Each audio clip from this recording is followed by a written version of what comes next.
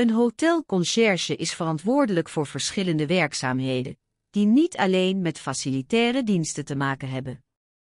In het kort kunnen we de werkzaamheden van een hotelconcierge het beste omschrijven als het geven van dienstverlening aan hotelgasten. Hotelgasten binnen een hotel kunnen over het algemeen bij de conciërge terecht met allerlei vragen die te maken hebben met de dienstverlening van het hotel. Denk bijvoorbeeld aan het regelen van een huurauto, aan het regelen van een taxi of aan gasten die mogelijk klachten hebben.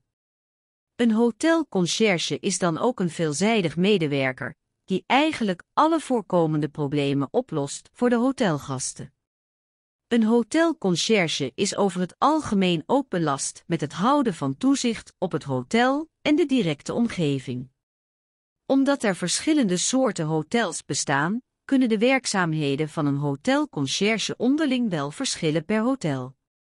In alle gevallen hebben de werkzaamheden van een hotelconcierge wel met service en dienstverlening te maken. Een conciërge is van oudsher officieel een opzichter van gebouwen, echter zijn moderne conciërges verantwoordelijk voor meer werkzaamheden. De meeste conciërges die werkzaam zijn in een hotel zijn ook verantwoordelijk voor het verstrekken van relevante informatie over de stad aan hotelgasten. In dat opzicht kan een conciërge ook gezien worden als een soort gids. De inhoudelijke werkzaamheden van een hotelconcierge moeten verder vrij algemeen gezien worden, omdat niet alle hotels beschikken over meerdere hotelmedewerkers.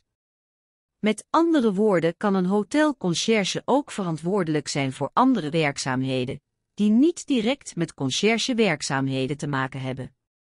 In de meeste gevallen zal een hotelconcierge gezien moeten worden als allround hotelmedewerker, echter kan dit wel per hotel verschillen. Het is denkbaar dat een hotelconcierge ook gezien kan worden als nachtportier.